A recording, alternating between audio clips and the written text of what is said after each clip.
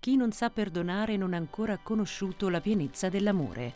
Papa Francesco ha spalancato un'altra porta santa, quella della Basilica di Santa Maria Maggiore, e ha invitato tutti a schiudere le porte del proprio cuore alla misericordia del Padre, con piena fiducia e senza alcun timore.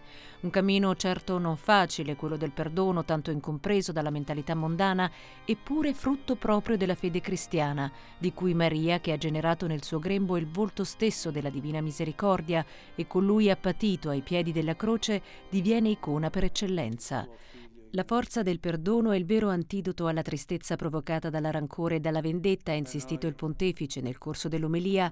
Il perdono apre alla gioia e alla serenità perché libera l'anima dai pensieri di morte, mentre il rancore e la vendetta sobillano la mente e lacerano il cuore, togliendogli il riposo e la pace. La Madre del Perdono insegna alla Chiesa che il perdono offerto sul Golgota non conosce limiti non può fermarlo la legge con i suoi cavilli nella sapienza di questo mondo con le sue distinzioni.